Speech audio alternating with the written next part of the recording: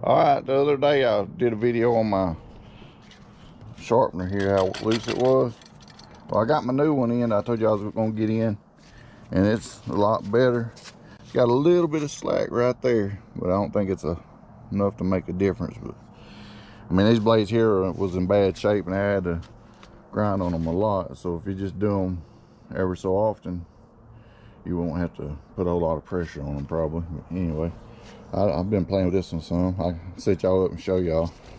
But you can see just it, it's moving right in here.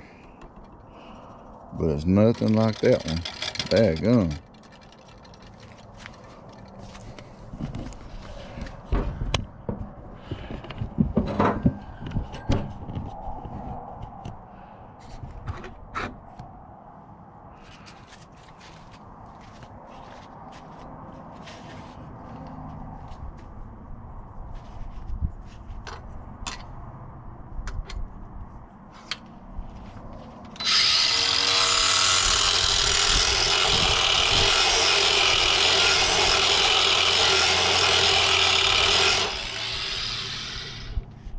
you do this one over here, see how bad it moves. But that's the wrong pin. This pin don't fit that one.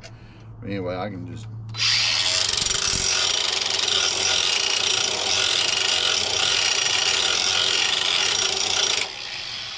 That's not bad, but it's I think I'd rather go with this one here. But anyway, I just thought I'd show you all that. That's the name of this one here, if you're interested in one.